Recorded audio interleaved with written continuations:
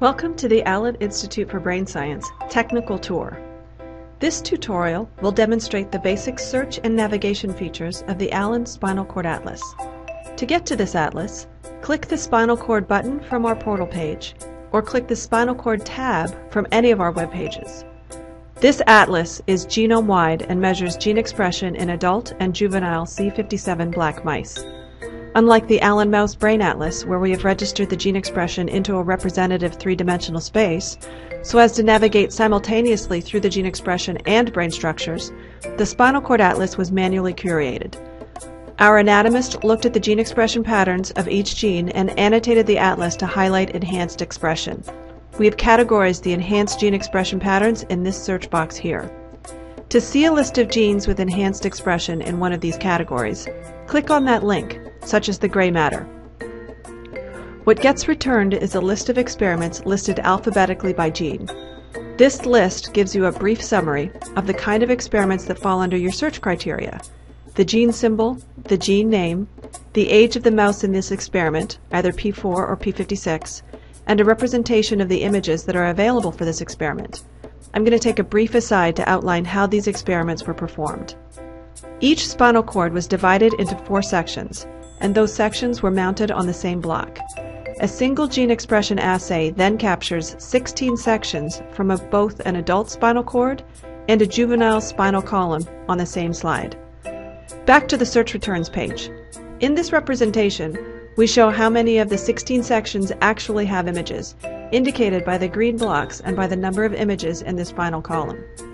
The next and final column indicates the sections that have enhanced gene expression represented by blue shading in that expression category. To see a legend of what each box represents, click on the blue question mark next to the column header, and you will open a window with the Expression Enrichment Category chart. You can also hover your mouse over the blue boxes to see which category shows enriched expression. You can also do an advanced search, which will allow you to search for genes and limit your search by several other criteria. When you start to type a gene name or symbol into the search box, you will be given a list of suggestions. Click on a suggestion to bring up the relevant experiments. In this example, I've selected VAMP1. To look at the data in these experiments, click the selection box next to the experiments you want to see, and then click View Selections. You will be taken to a page with our zoom and pan viewers with all the experiments you chose. Each viewer has a film strip along the bottom of all the images in this experiment. Selecting one of the images in the film strip will load that image into the main viewer. You can zoom in and out with either the scroll wheel on your mouse or by pressing the A or Z keys. Panning is accomplished by clicking and dragging on the image. You can remove experiments by clicking on the X icon above the image, and you can look at either the ISH data, which is the default, or you can see the closest Nissl stain in the spinal cord by clicking on this icon. Or you can take advantage of our expression mask view, which programmatically subtracts out the background and shows a false color image that indicates low expression in the blues and greens and high expression in the hotter, redder hues. To better localize the location of gene expression, you can also bring up our reference datasets in this window by selecting from the drop-down menu here. I've added the annotated atlas, the reference Nissl, and the reference acetylcholinesterase atlas. You can move the viewers around to optimize your workspace by clicking on the top banner and dragging the viewer to where you would like to see it. When you've found a region of the spinal cord with interesting gene expression patterns or intensities, you can sync the other viewers on this page to a similar position along the spinal cord to help you localize and identify this region. The Nissl and the acetylcholinesterase datasets can show you the cytoarchitecture, while the annotated atlas will label the region.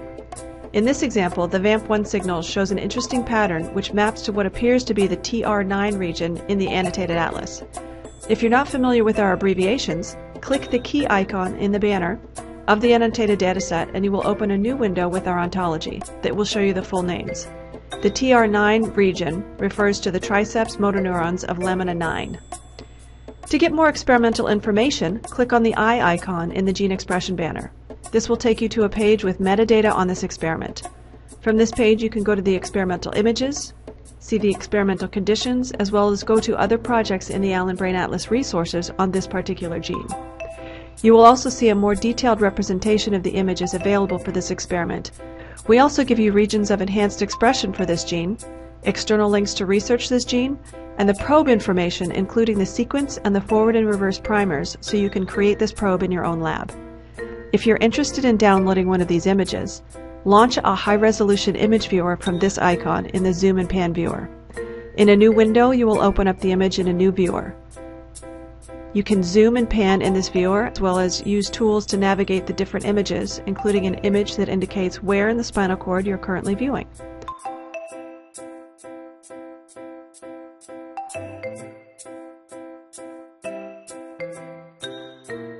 You can rotate your image, which is valuable when you want to download the image, also from this menu. We also provide a scale bar for you to determine the scale of the images you're looking at.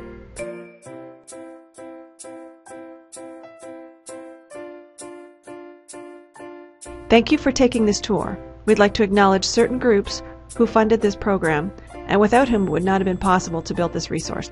For more information, please go to our website at www.brain-map.org.